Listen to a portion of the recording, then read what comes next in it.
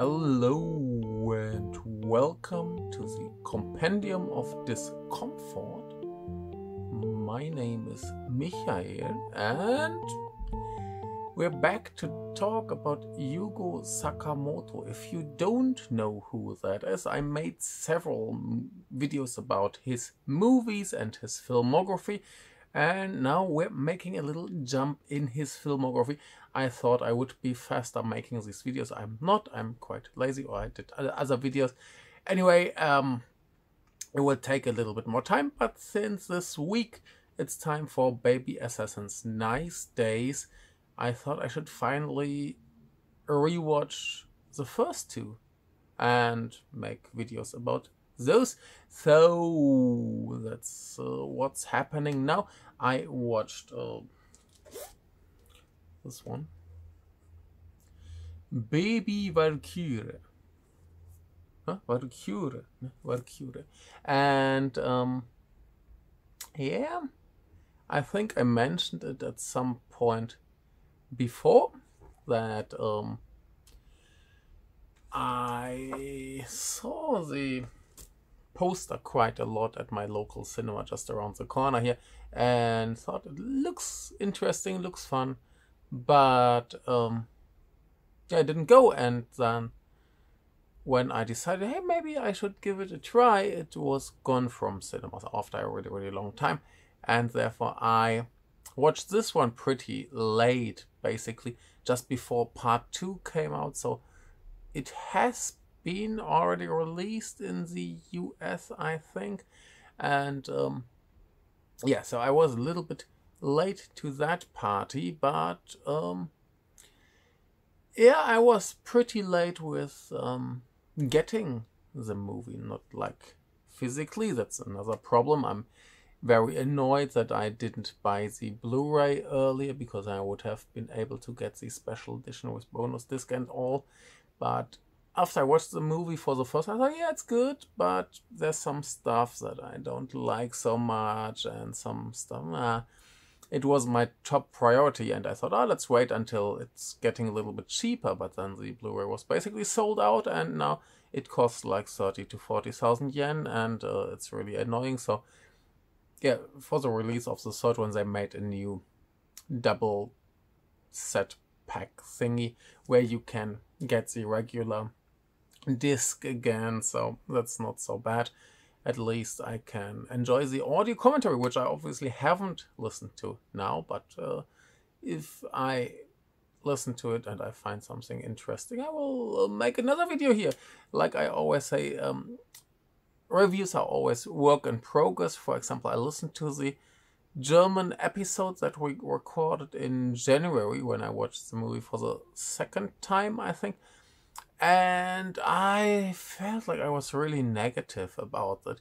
I mean, I still liked it, but there were some things that I didn't really get. Why is it like this? Why doesn't it work like uh, maybe other movies or something? And I think now I got it. Yay! So uh, yeah, just to to uh, get this out of the way, yeah, I, I leveled it up step by step from uh, four to five. So it's a very, very good movie. I was very well entertained. I watched it yesterday. I watched it today again. So now I'm at uh, four times. And yeah, it, it makes sense if you uh, rewatch it. There's some, some stuff that's really a bit weird, unconventional, maybe. And um, yeah, I, I felt like this time I understood it much better and I could enjoy it much better. So, yeah, if you don't get it first time, maybe just give it another try or watch some other of his movies, um, get a bigger understanding of what he does, what he uh, likes. As that's why I wanted to talk about the whole filmography, and I will still finish it. I will still talk about the others, but just in a slightly different order. So, yeah, that's basically my story with this movie. And um, yeah, I remember when I watched the second one in the cinema, I liked it much more. Now I'm very curious to see how I feel about the second one next time because there was some again I watched the second time for for a German uh, podcast that we did and there were some things that annoyed me very very much especially at the beginning and at the end and um, let's see how that works out for me this time and uh, a special occasion usually usually I don't do that that often but uh, we have notes plenty of notes several pages of notes uh, good. Maybe um, I can throw in some more deeper thoughts than I usually do after I go to the cinema. I mean, I, I don't take notes in the cinema and then I go home and I have to process. And then there were no subtitles and I need to process more. And I was sometimes pretty busy just understanding the movie. So this time is a little bit more relaxed uh, because I could watch it several times. I had subtitles, which were sometimes not so good, I felt. But that's another story. Um, anyway, uh, yeah, let's talk about Baby Assassins from 2021 with uh, Yugo Sakamoto. Um, yeah, we, we have mentioned the two main actresses in several at several different occasions, so I won't talk much about them. It's uh, these two. Um, this is uh, Akari Takaishi and Saori Izawa. And there's one very funny thing. Um, some people suspected that I mentioned that in a different video too. Some people suspected that these are the same characters as in Sakamoto's movie A Janitor, even though they have completely different names and uh, so on. Like in A Janitor, they're called uh, Shiho and Rika. And um, here in this interview, very interesting, um, Akari Takaishi says that she didn't want to play the same character again and she hoped the director wouldn't ask her to do it exactly the same like she wanted it to be two distinct people. So from there on it's already um yeah just a crazy idea. And um, the director himself said that he might have considered it for a moment but basically he uh, stopped thinking about that. He, he stopped this idea because he wanted this movie to end and people know that these two girls will just keep on living like that. So, um, yeah, he never intended these two to uh, die, at least not at this point. I mean, the, the, um, the promotion campaign for Nice Days suggested that it is all over, but uh, yeah, Probably not, I guess. Um, yeah, anyway, so um, these two are here and they're different characters, and that was just a crazy fan idea. And some people believed it, and it's not true. and nobody ever planned that. And let's look a little bit on the rest of the cast. We have some more or less uh, known people here. We have Masanori Mimoto, who is a pretty great. He was, if I'm not wrong, he was a frog guy in Yakuza Apocalypse, and he was in uh, Bad City, a Reborn, Hydra. So he's a regular, um, regular in uh, Kensuke Sonomura's movies, and he will be in his new movie Ghost Killer as well. So uh, good guy, very good for action stuff. And yeah, then have Yasukaze Motomiya, who uh, yeah, did a lot of Yakuza films, and he's playing a Yakuza here as well. Uh, he was in Graveyard of Honor, uh, Outrage, Coda, Iso, uh, Shield of Straw, uh, Bad City as well. And he was in the very fun um, Jigen Daisuke movie that was on Amazon, I think. Oh, and, and he was in the absolutely gorgeous, wonderful Takashi Miike film Silver that I highly recommend, even though it's total wacky trash. It's a lot of fun. Watch it. And with Takashi Nishina in a very, very small role, but he is a little bit famous for being in Brother or, uh, for example, Godzilla, Mothra, King Ghidorah, Giant Monsters All Out Attack, or Ring 2, or uh, Gamera 3, Revenge of Iris, and some some more movies. It, it's uh, like more like a cameo, but um, it's a face you have seen before, and some. I, I, I still haven't figured out who she's actually playing here. Uh, Nagiko Tsuji, of course, um, most important for being a co-director with Sakamoto for Pan and this mysterious was Crazy Island movie. I have no idea. Um, yeah, then we have Atomo Mizuishi, who is in all the sequels. Uh, he's the um, dead people disposal dude. And yeah, he was in some other stuff like the Full Metal Alchemist um, live action movies or Tokyo Vampire Hotel. But yeah, yeah he's just a baby assassins guy, regular. Um, who do we have? We have a in a very another small role. We have Masayuki Ino, another proof that this uh, Sakamoto's movies are all one big uh, uh, almost said serial killer, no professional killer universe. Uh, idea is um, not true. Uh, Masayuki Ino is uh, most famous for being the legendary hitman Kunioka, and he has a very very small cameo as a guy who fights with his hands. He doesn't need a gun. He can kill and then he just uh, disappears very unglamorously. Yeah, and then we have, of course, uh, Tsubasa Tobinaga. I think I forgot him in my video about um, Everyday. Of course, he's basically the boss of the two, but he hasn't done much else. And yeah, I, I guess that's it. That's the main cast that we need to talk about. And um, yeah, very fun.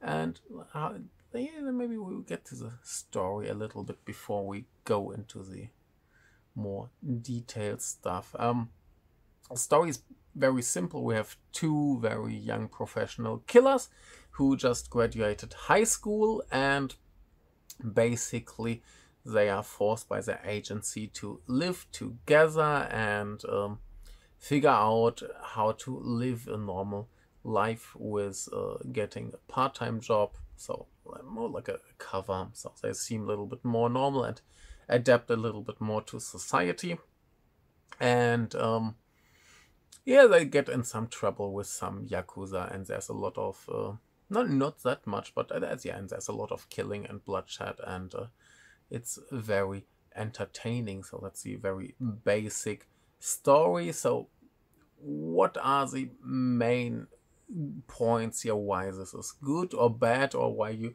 might not want to watch it? I don't know. And I know some people who don't like this at all, and I totally get it. Like, it's a bit special interest. Um, so the main point is that it's an action comedy with the focus on comedy. In the sequel, there's a little bit more action, and I appreciate that a lot. But here in this one, basically, you have two action scenes, like one at the beginning, one at the end, and in the middle, there are some few small things. It's a lot like the second, uh, the Fable movie, which is excellent as well. But um, yeah, I, I, when I watch these movies, I had this idea that a lot of um, Japanese action movies basically just have two action scenes and then in in between maybe someone gets shot or hit punched or something. But uh, yeah, seem there seems to be a pattern needs confirmation, but um, yeah, it's an idea I had. Um, at least that's a very cheap way to produce movies and probably that's the reason why they did it like that. Anyway, in between you have, so for the most part, this daily life of these two girls, and they're a little bit um, special. Uh, with Mahiro, played by Saori Izawa, who says she's a sociopath and can't fit into society at all. And we have uh, Chisato, played by Akari Takaishi, who um, is uh, crazy as well, but um, more little bit gaga, but she functions in presence of normal people quite normal as well. And um, yeah it can be i mean for, for me for me at least uh, mahiro is still relatively relatable. Like she just wants to be left alone lay down on the couch watch cat videos and every now and then she wants to kill someone. And um, not that i kill people but um, yeah it's, it's something i can relate to not having to um, go out and have conversations with with people, uh, which is how I usually make my money. But um, I, I know the feeling. I have at least uh, days like that, so it's, it's something relatable. And she's not too annoying. She's just slacker, lazy. Just leave me alone. Let, let me do my stuff. And on the other hand, Chisato is in this movie completely gaga and weird. She has some very strange mannerisms. Um, like she switches around her personality a lot. So, and that's the main point uh, Takaishi um, paid attention to when creating this character. Basically, when she's a killer, she's very serious, and her posture is in a way that it's more intimidating and um, very like strong. But besides that, she's always like, and always screaming and shouting, making weird noises. There's one scene where she's um, preparing some food or something, and she always walks back and forth between the couch and the kitchen, and she makes it's like and uh, it's supposed to be um, dog paws on the floor, like no, and um, I, I just feel like if someone like that would live with me, I would probably kill that person. I, I would go crazy. Like she's sometimes so annoying, especially as he's screaming. So I, I completely get it if you watch this movie and you feel like these are just insane people and I don't want to watch this at all. So I think for me, when, when I watched it for the first time, um, I, felt like I, I, needed some time to get in the groove, to get the feeling and um, to appreciate this weirdness. And now it's it's working totally fine. I, I think for me, it was very good that I've been watching the TV show now because on the TV show she's way more normal and um, much nicer. So one thing that's happening in the show is basically she's the connecting piece between Mahiro and um, and society like every time she confronts someone who doesn't get her personality. She's basically the translator. She explains what's going on.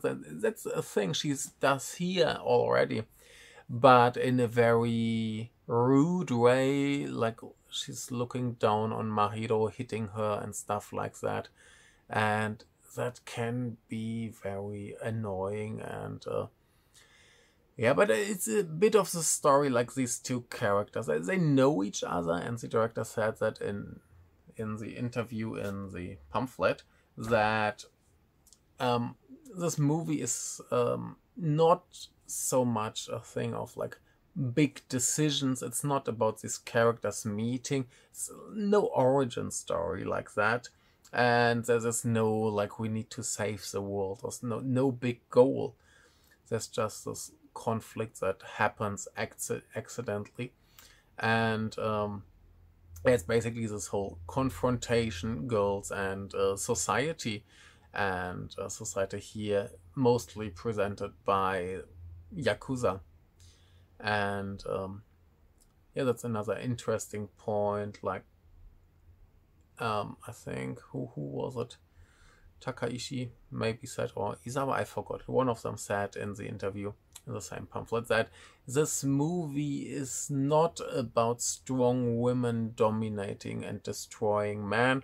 This is a normal woman being forced to fight um, for whatever. Like they, they don't want it, but because of society, male dominated society, they have to Yeah, it's it's not like they walk around and they're so super strong and they can just kill everyone.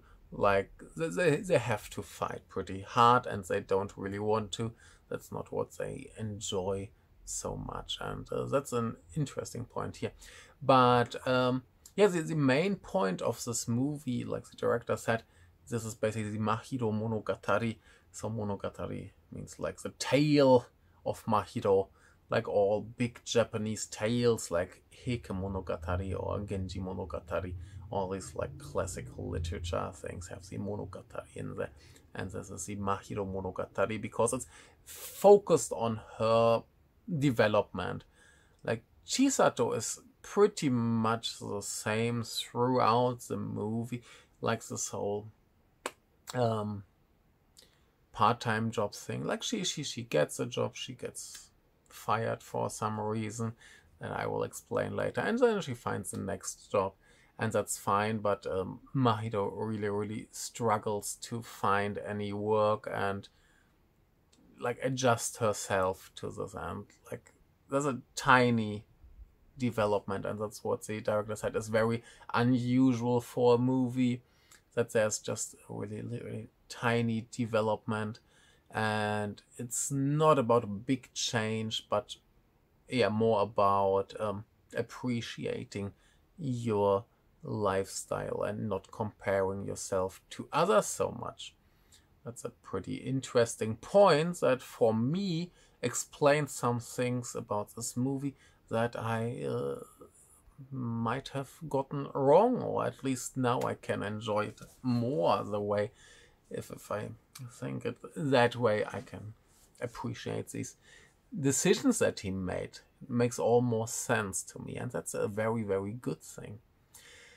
So, yeah, it's basically so a story about a girl who tries to live her life without getting into too much discomfort or trouble and that's the main point here. It's uh, very funny if you can appreciate the sense of humor, which most likely not everybody will be able to, but uh, give it a try.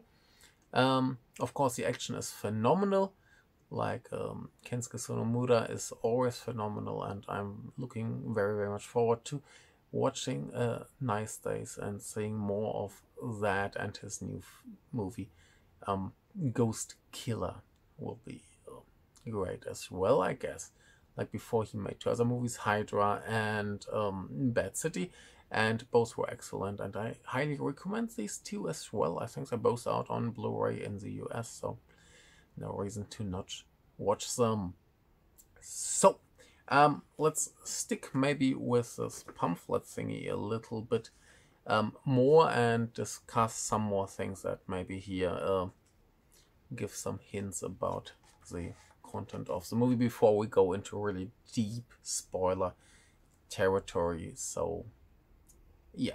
Um, interesting, like the main idea for this movie was this, uh, like he said, it's kind of professional killer gap. Like when killing, they're super professional and can do everything, but in real life, they can't um, even pay their bills and don't know how the world works before because they're so so in a different world that they don't understand stuff like that. So that's the basic idea of this movie and um, very interesting for there's, there's a segment in a in a maid cafe and here he took inspiration from YouTube where he saw a clip where uh, Akira Maeda is his name I think uh, is an ex-professional wrestler and a huge guy, like 192 or 93 centimeters tall and a big dude. And he went with another guy into a maid cafe dressed as otaku and trying this. And there is a little bit, um, seemingly, there was a little bit of uh, Sakamoto's um, little strange sense of humor or little nihilistic uh, idea. So he, he felt like it would be super funny if this huge ex wrestler would just get angry at the maids and freak out. And uh, there was an inspiration for this movie. Yeah, and um, he was asked in the interview why this movie is not in chronological order, and he said basically um, starting with a like normal, seemingly normal girl at a job interview, and then just having her escalate, kill everyone in the shop, and having a big fight scene at the beginning made a lot of sense to him and uh, seemed like it would have an, a big impact. And he felt like he never saw anything like that in a movie before, like someone in the middle of a job interview just uh, going straight into a big action scene. So um, that's one the obvious reason why he chose to uh, make it like the start of the story. We have later as flashback segment, um, and I always felt like why, except for this um, reason that um, you have the action first. But uh, let's get to that later. Why that is actually not that bad. I just feel like it's a little bit confusing because it's a really, really long flashback, like 25 minutes or so. And um, I think the first time I watched it, I was a little bit like, oh, oh, oh there was all the flashback. I already forgot that we're in a flashback. Um, yeah, a uh, good thing is he didn't consider any scenes inside uh, in the high school because he felt like all all other movies have so many high school scenes that you don't really need it here, and it wouldn't do anything good to the story. It would just be like, yeah, high school, who cares? No, I, I guess it's a good decision to make them basically just graduate high school shortly after graduation and let them do their thing and try to arrive in society. I, I guess that's still something that even younger audiences can um, identify with because they all have the fear of going there. Like even if you're in high school, you can always say, "Oh my God, in a year or two I'll be there as well," and I guess that works totally fine. Yeah, and um, so let's get to uh, Saori Izawa's interview, and she she explained her character in a very interesting way. She said a Mahiro's brain is a 30% a set of work and Chisato, 20% eating, and everything else is not being used or she's unable to use it. And uh, yeah, so that's why she is the person she is. And um, when they started planning this movie, she was already involved in the project and um, the idea was that the director Sakamoto would be the action director as well, and she would be the action coordinator. And um, they sent a lot of stuff like manga movies and stuff um, to show each other what they imagine. It should be and what they would like to do. And they felt like it would be a lot of fun to do just everything they enjoy. But then she was like no maybe it's better to focus on the performance especially since she's not she's not an actress. And this is the first time she actually has lines and dialogue and she has to act. So um, good decision to focus more on the performance. And then she was like yeah let's let's give sonomura the job of the action director. And uh, what, what she said is special about uh, sonomura is like she, she gave an example that he taught her for two hours how to do jabs. And like in her words um, it's like you have to understand the structure of bones and muscles and how to use that to create power and um, you need to understand that without thinking to actually do Sonomura's um, insane action scenes, and that's why she believes he's an amazing person. Like two hours just jabs, and uh, that's pretty funny. And yeah, she she was like she um, can identify with the character in general. Like she wouldn't be able to fit into normal companies and stuff as well. That's why she ended up doing stunt work. And here in this movie is a big apology scene with cake and stuff. And she said she had a similar experience before um, when she wanted to apologize to someone. She, just went there to eat, uh, buy some cake and really struggled to just buy cake and yeah, well, it's pretty yeah, like she she went into the shop and the staff were like, yeah, what what do you want? And she walked out. Oh my god, is this is really okay. So yeah, she felt like that's basically her life. And um, when they started shooting, uh, they started actually with the company scenes, and she couldn't really remember her lines, and they improvised a little bit, and she felt like it's a lot of like doing um doing a comedy routine. So good. And then we have here Akari Takaishi. Um, she said she had, before they started shooting this movie, she already had a good relationship with uh, Saori Izawa. So there wasn't really a problem that Izawa is not an actress because they had such good chemistry and were already feeling so well together that it was just a, a thing that happened. And she had more uh, issues with uh, doing the actions. Like she had to focus on that. And uh, other thing, when she watched the movie and she saw that final battle, she had to cry because, um, yeah, it's just so much seeing her friend fighting for things. Um, yeah, emotionally I got her, and she said that never happens with action scenes. So good, good, very nice. And she too can identify with her character. Um, yeah, I wonder if she's like that as well in her private life. Yeah. Uh, interesting. Um.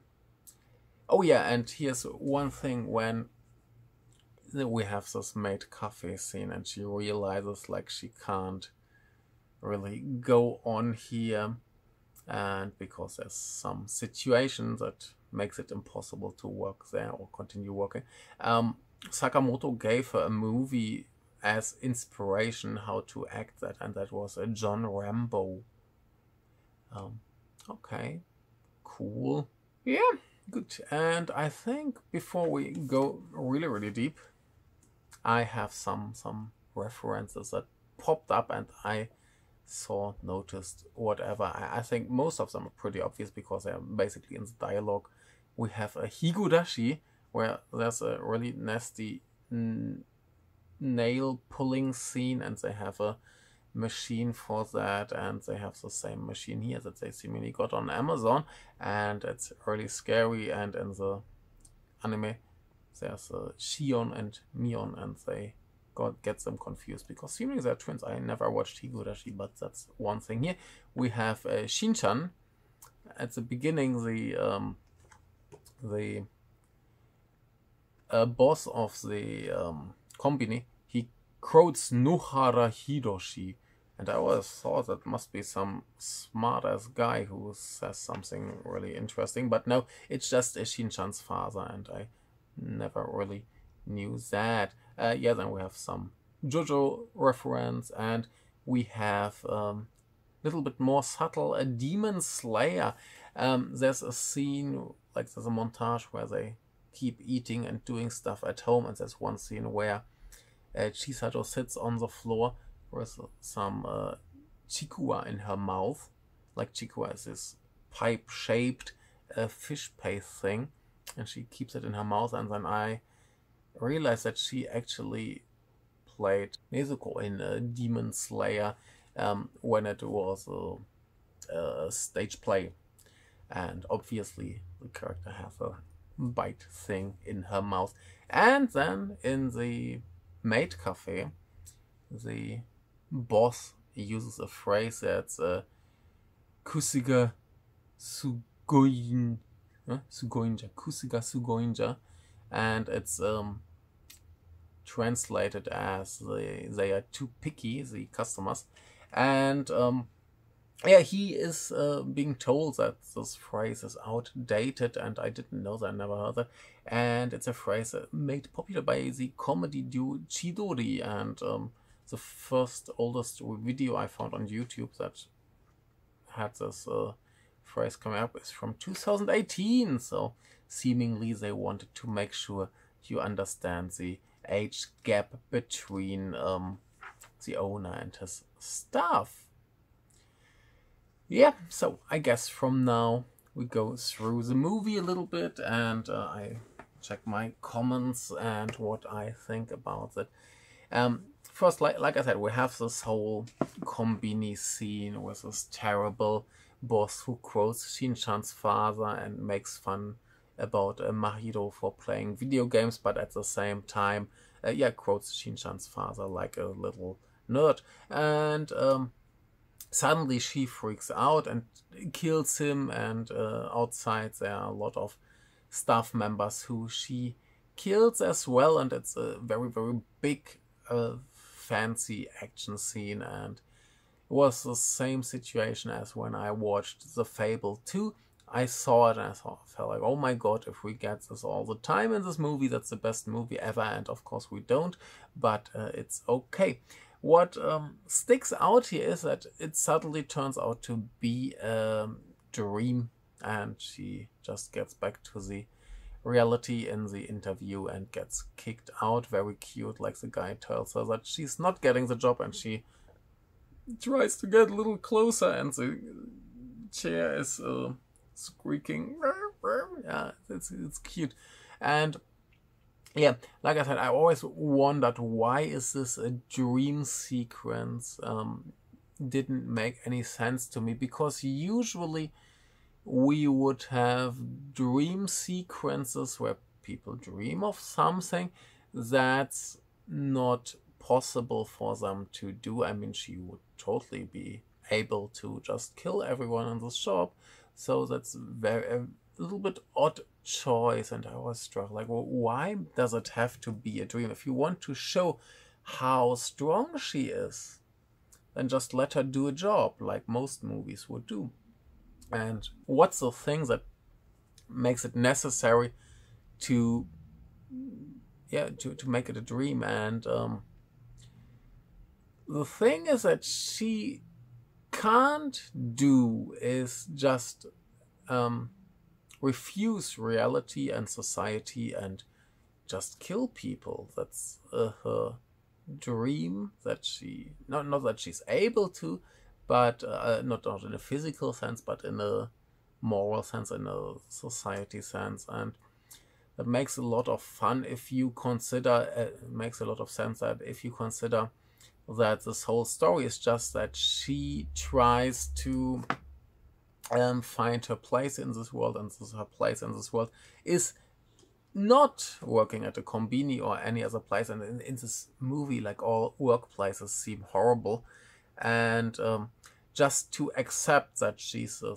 slacker who stays home and watches cat videos, and every now and then she earns some money by killing people, and just accepting this like here she tries to embrace this um, lifestyle in her fantasy and at the same time there's this scene that ma makes it fit nicely with the end where she wants Chisato to help her up when she's on the ground uh, she she's like this eh, help me help me and uh, Chisato helps her up and uh, that suggests that she might dream of a little bit better relationship. But I mean, I mean uh, their relationship isn't that bad, so I'm not sure how important this point actually is. But yeah, just this necessity to escape uh, society's standards and just live your life the way you want. As the director, by the way, said too that he um, understands this issue very well because when he's not shooting movies, and shooting movies is already a little bit strange lifestyle, um, he's just living like a NEET. So a NEET is a NEET means not an uh, education, employment, or training.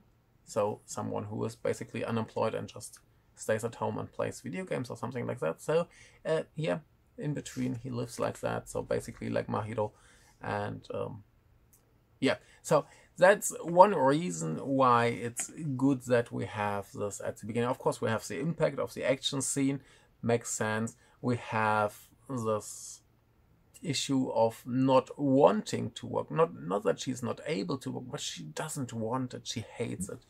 Yeah, everything in her heart and soul hates working, and um, so that gets pretty well established here. And um, yeah, then we stay in this timeline a little bit.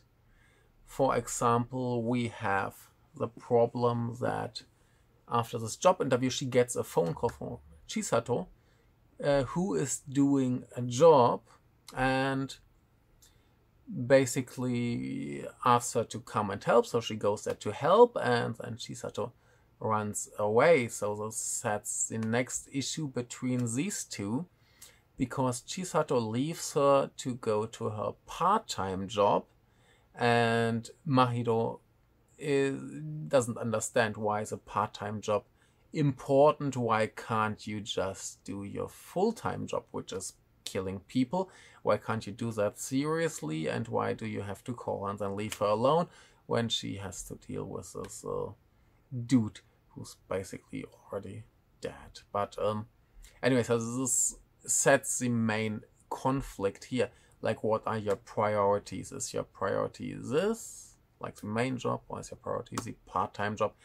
Um, and we, we uh, around, uh, not around, throughout the movie, we realize that um, Chisato enjoys her part-time jobs most of the time, and that's why she, yeah, prefers to go there every once in a while and not do the killing stuff. So yeah, it's a big clash of characters that gets established well here, and having it structured like this actually helps quite well to not tell us why the situation that we just saw is actually much worse than we believe. It's not just a conflict between these two girls, but there's much more to it that we will find out later. So it makes a lot of sense that it's here like that. And then, yeah, we, we see a little bit of a Chisato at work where she basically gets bullied by her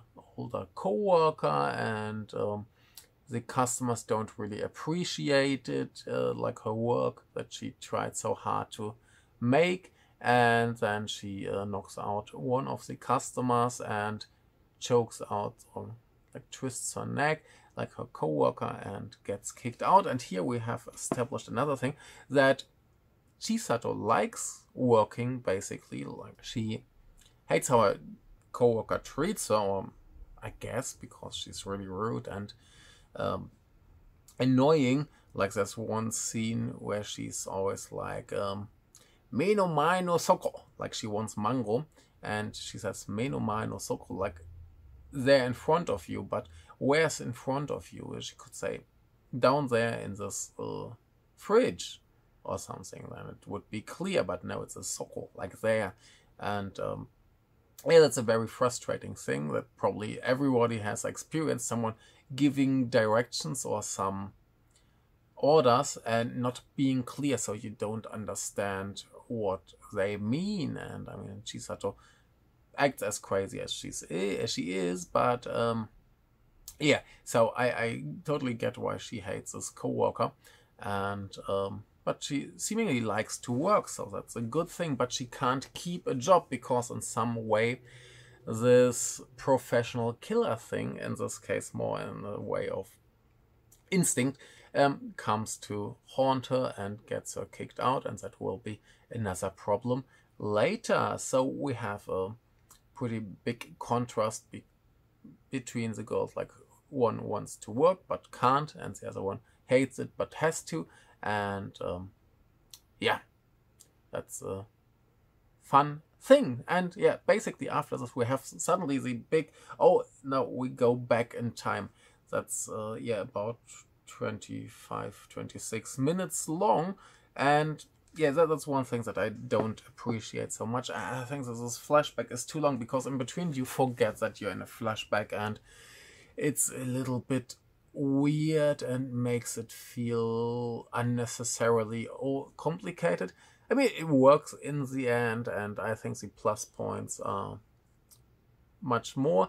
But yeah, for first time, I, I don't blame anyone who's confused by this like you have this dream sequence, reality, flashback, back to. Uh, it's a bit um yeah overly complicated this, this whole start and and the, whole flashback we see the build up to where we were which is something that you already forgot because there was this non-job with this one guy who was already tied up to a chair and then got shot and nobody would suspect this this is basically already peak confrontation here. It's kind of smart, but yeah, makes it less uh, like, like for for example, let's say um, Mission Impossible 3, the cold opening with uh, Tom Cruise in the airplane and it's super dramatic and you know this is such an intense scene, you know, you will get back to that. But here, you don't really know to what you will get back because the scene with the guy tied to the chair is already a few minutes ago and you had some normal, like other stuff, like work stuff, daily life stuff. So you don't really have this mental connection to this one scene and you don't really get the idea that, oh, now we're doing the build up for that scene because you don't know anything special about that scene. As a, ah, a bit, um, maybe clumsy. So it works fine if you watched it before, you watched it twice, three times, uh, suddenly you're like, oh yeah, yeah, that all makes sense. It works pretty fine. But um, yeah, first time is a little bit like, oh, oh what's going on here? Yeah, and uh, there's a very cute um, flyer they get that basically says working people are amazing when they talk to their boss who explains to them the situation like they have to live together and find jobs and work together and work and stuff. And um, yeah, then we would get one of the um, jokes that makes me most annoyed in part two, uh, like this typical, oh, I thought you listened, I didn't listen. Yeah, uh, nah. Uh, I mean, here, here's a tiny, tiny thing. And the second one, it's way more annoying because it's way more relevant for the story. But um, yeah, anyway, we, we get um, Yakuza family introduced, and it's pretty funny how they basically um, mirror the characters we have. I mean, this is a family of three people, girls are only two, but um, there's a father and the daughter, a little bit similar to Mahiro and Chisato. Like the father is this crazy old yakuza who is um, like we need to change society. And um, he wants to make everything more female oriented you need to appreciate papakatsu as a business model. Like papakatsu is um, basically uh, uh, young girls dating old men to get some money. And uh, yeah like that and more, yeah, female oriented work, which his daughter does. Um, and he's uh, not very good with jokes. He doesn't really understand other people, doesn't really understand how to uh, interact with normal people, and um, yeah, uh, feels a bit like Mahiro. He knows a lot about uh, killing and violence, and uh, that's all. And his daughter is this completely crazy. I think she's usually drunk here. At least it's mentioned that she smells like alcohol. And she's just crazy, screaming, running around, very intense. Um, and she has this, this Dolce and Gabbana connection with uh, Chisato. And yeah, basically, these are the main antagonists. There's, an, like I said, a son who's um, like in between. He's uh, more this traditional, let's do Yakuza hardcore stuff. Um, yeah, his father doesn't really appreciate that, and his sister always makes fun of him because she feels like she's the superior human in this family, and uh, there's a lot of fighting here. But um, yeah, basically the brother always um, loses, and uh, yeah, he's more there to uh, interact with them because they don't interact with each other that much. But he's always there with his father and then meets his sister, and there's some argument going on. So we get introduced to them, and they find out that one of their boys got killed, and basically the daughter gets the mission to find the killer and surprise. Surprise, she realizes because of Dolce and Gabbana, and um, like she smells on a like, tissue and all Dolce and Gabbana, so she knows she must look for someone who uses perfume like that. And she does some research and finds eventually someone who um, gave the uh, order to kill this guy, and then she gets a connection. And then we get back to this one dude, and uh, that before Mahiro entered the scene, um, Chisato already walked into a trap, and uh, her gun got stolen, and she was lucky that she's not dead, and stuff like that. So suddenly this all makes sense. But like I said, the, the first scene of this job with the guy um, tied to the chair is, has such little impact that you don't expect it to be a main plot point. And the whole plot is so loose um, it's more like coincidence. It's more like stuff happens, and that's a thing that um, Sakamoto did a lot in his older movies. There's not much focus on plot. Uh, something like Hangman's Knot or Slaughter Jab. We will get to these movies eventually. Um, don't have much consistent plot going on. It's more like scenes and he Here's a little bit more consistent writing, a little bit more focus on this plot, but there's still a lot in between with just stuff happening. And um, yeah, it's uh, someone said it's a good hangout movie, like you meet your friends and uh, just hang out with them. And I would agree with this, but because of the structure, I feel like you, you must pay attention to know what's going on if you haven't watched it yet or yeah you just watch it 3000 times and then you will eventually get it and it's yeah yeah i mostly agree but it's a little bit challenging for a hangout movie i feel oh, third time fourth time you can just sit there and relax. First time pay attention.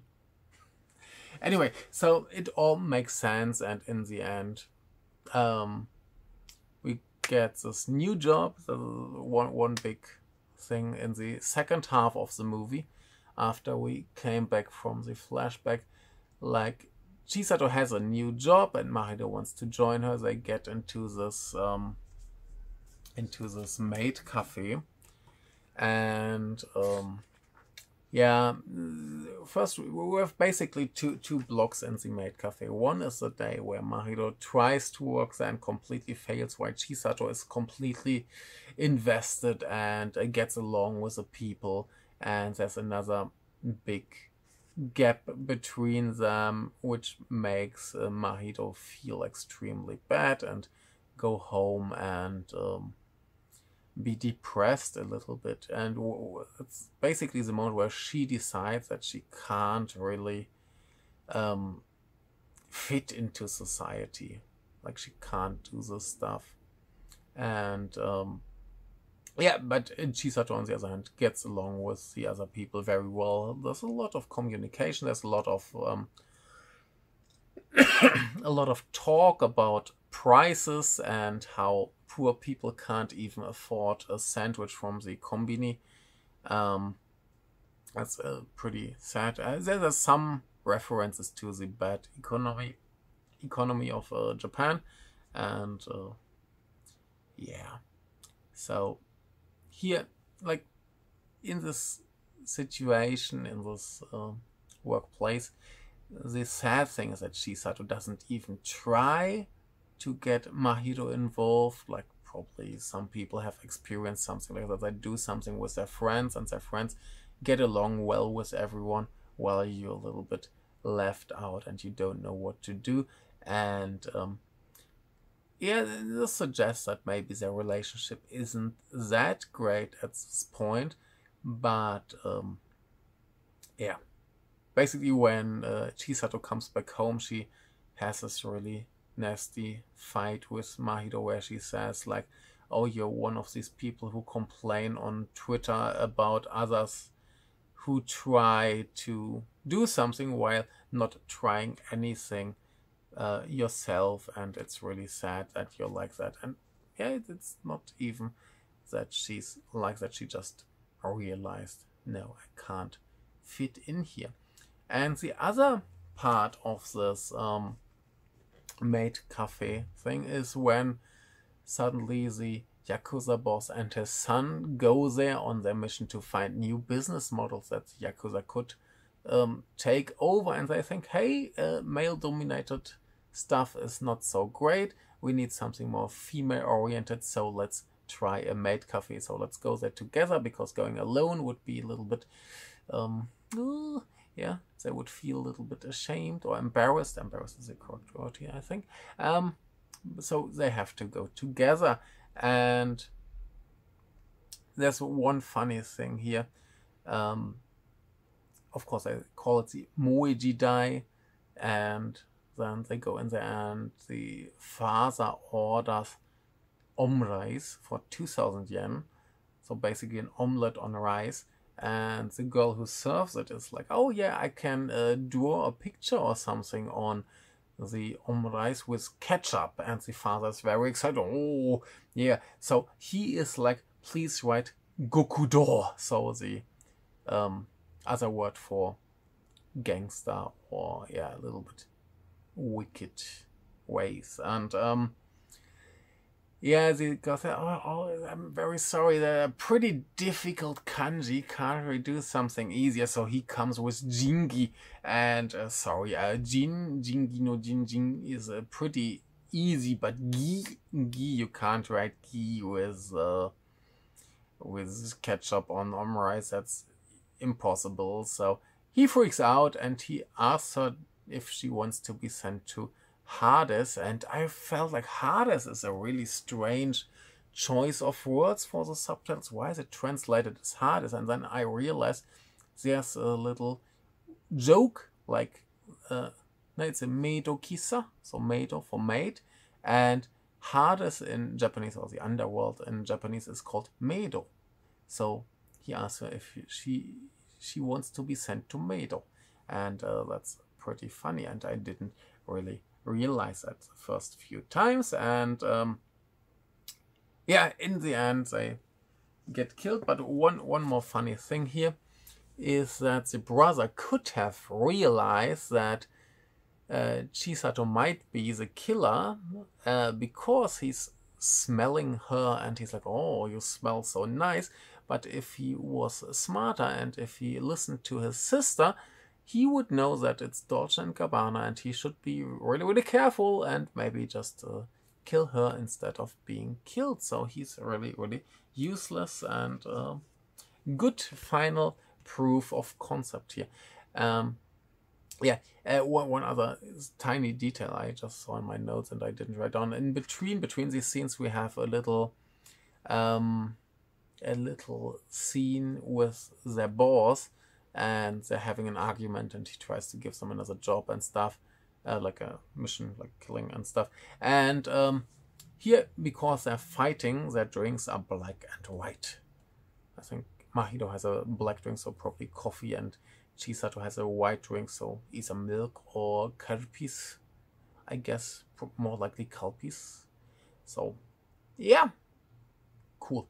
And yeah in the end we, we get a big fat final fight like the daughter wants to wants revenge for her family so she asks them to come and fight them and they have a big fight it's amazing we have uh, here mr ino Mr. Uh, what was his name? Masa, Masayuki Ino, Ino who uh, shows up and uh, is like, yeah, I fight only with my hands, and um, yeah, and there's a big, big The thing is, the whole movie, Chisato is building up the use of her machine gun, and she brings it here, and she keeps forgetting and losing it, and that's the her main theme for this big fight because she's always looking for her gun. She's basically not very involved in the action, so that's a more or less smart choice to keep her out of the action while uh, Saori Izawa um, does the big fight scene with the uh, strong henchman. And um, it's a great fight scene. I think the one in the second it might be even better. But what I like about her fighting style is that she's, I mean, usually she's fighting men and she's smaller than her opponent. So she tries always to be really small and close to the enemy with her head first into the body. As she does that a lot. And I really like that. It makes a lot of sense because if you're close and small, you, it's harder to get a really strong hit. And um, it just looks good and this whole fighting style is a lot of clumsiness it looks clumsy because it's a real struggle like body parts are being grabbed and pulled so you struggle to get your composure back is that the right word i hope and um, to get the upper hand and land a hit so it looks like a real struggle, it looks like a real fight. It's not very elegant for the most part, but it's all very quick and precise and amazing. And in the end, she gets the win because she does a little, she fakes something and then does something different. Yeah, uses of hat, uh, hats are great. Um, uh, yeah, I think it's very exciting. And uh, yeah, very great. And if there's anything I want to criticize about this movie, it's mostly, yeah, this little loose structure that makes you get lost if you don't know it. So maybe, yeah, that's one reason. And Chisato being a little bit too crazy, why I didn't enjoy it so much the first few times. Now I feel like I completely got the movie. There's nothing really to um, find out anymore. I hope I hope there will be more, but uh, now I have a feeling I've got an idea what this movie wants and why it does things. So that works really well. Now, um, like I said, this Chisato character, I think coming from the TV show helps a lot to love her much more. That's very good, very helpful. So if you struggle with this one, I would actually recommend watching the show it's a lot of fun and very, very good. Oh, and here in this final battle, the uh, opponent does a little eye poke with a thumb, I think. And uh, she does the same in episode 3 of this show. I felt very happy when I saw beep.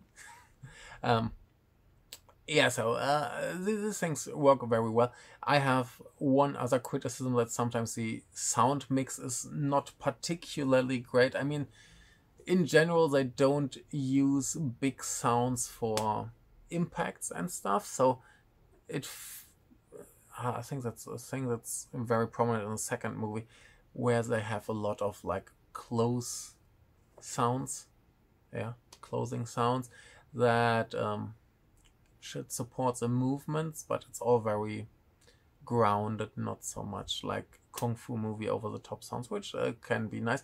No, but what what annoys me more is that very often the music is very down, toned down. Like especially in the second one, you have this metal soundtrack in the in the final fight, and it's so quiet that has literally no impact. And here, I feel it's slightly better, but still, I, I feel, feel like some sometimes the music should be more prominent, should have more impact to support what we see and that would be nice. Um, by the way I, I, never noticed that here in many scenes you actually have the uh, Ritt der Walküre um, playing in some variations uh, usually like piano or something. It's uh, very cool. I, I noticed that for the first time in the second movie, uh, in the, the TV show. So I guess it will be in the second movie as well. Makes sense if you called your movie Baby Valkyrie. So the baby Valkyrie. And um, yeah, that, that's a nice detail that I never really noticed before. And now I noticed. I'm happy. Um, yeah, uh, one, one, one last thing I completely forgot. I looked into my archive of uh, Kinema Junpo and I found the reviews for this movie and they're surprisingly positive. Like usually Kinema Junpo is like the it's the oldest uh, movie magazine in Japan or maybe even the world over 100 years as far as I know and they can be a little snobby or a little um yeah elitist but this one got quite decent uh, ratings uh, so usually they have three people rating a movie and here you got a three three and four out of five but for, for me that sounds a little bit low but just because i'm very generous with my ratings. So here a three is um, basically means yeah you can give it a try. It's worth watching, and um, basically they they say the same. Like the characters are great, the action is good. That's a lot of fun. But there's one the, guy who or the human who gave it a four uh, was born in 49, so a little bit older person and uh, made some some great comments here. Some other some, same as me, some complaints about the sound, but he uh, where is it? セリフがや、えー、セリフがラップ的になればもっと楽しかった。